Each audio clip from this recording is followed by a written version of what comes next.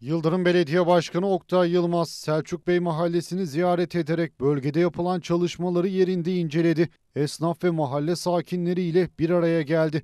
Mahalle ziyaretleriyle belediye makamını vatandaşın ayağına götürdüklerini ifade eden Yıldırım Belediye Başkanı Oktay Yılmaz, mahallelerimizin hangi hizmete ihtiyacı olduğunu o mahallenin sakinlerinden daha iyi kimse bilemez. Bu nedenle biz de hizmet ve projelerimizi sahada hemşerilerimizi dinleyerek şekillendiriyoruz dedi.